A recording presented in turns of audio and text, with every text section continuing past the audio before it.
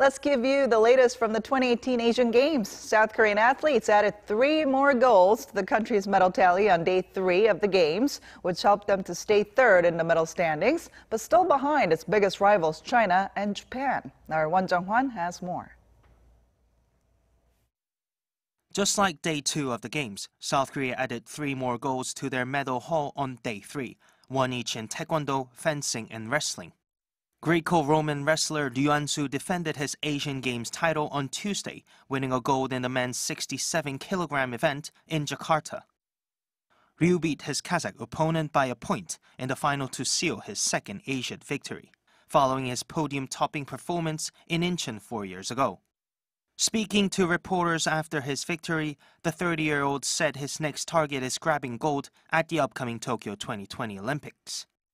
South Korea's taekwondo and fencing squads continued to do the country proud on Tuesday. Taekwondo fighter Lee Da-bin won the gold medal in the women's over 67 kilogram kyorugi competition. Lee defeated Deniz Cansel of Kazakhstan 27 to 21 in the final, making her a two-time Asiad champion. Lee won gold in the women's 62 kilogram category in 2014, but decided to compete in a heavier weight class this year. Fencer Kang Young-mi captured gold in the women's individual epee on Tuesday, giving the country its third gold medal in the sport. Kang, the world number 6, defeated the fifth-ranked Sun Yiwen of China in the final to win her first Asian Games gold medal. Kang becomes the first South Korean champion in the women's individual epee since Park Se-ra in 2006. Elsewhere on day three, South Korea picked up two more medals in the pool as rising stars Kim So-young and An Se-hyun won silver and bronze respectively.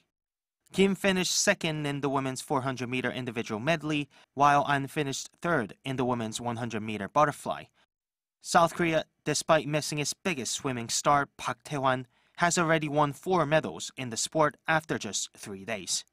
South Korea, which is aiming for 65 golds, has captured 8 gold, 12 silver, and 14 bronze medals so far, to rank third overall in the medal standings behind China and Japan.